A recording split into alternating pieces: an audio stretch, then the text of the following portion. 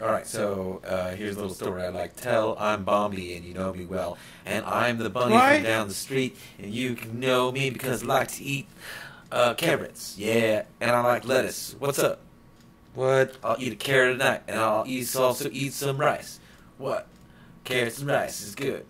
Uh, Clearly, you're not a connoisseur of good times and good food, right?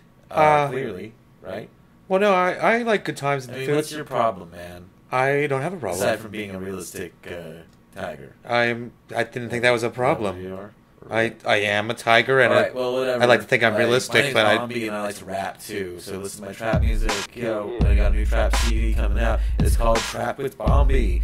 It's the Bombi. wait, was this the, an advertisement? all right, yeah, that didn't hurt at all. Thanks, mom. No, really. Was that an advertisement or something?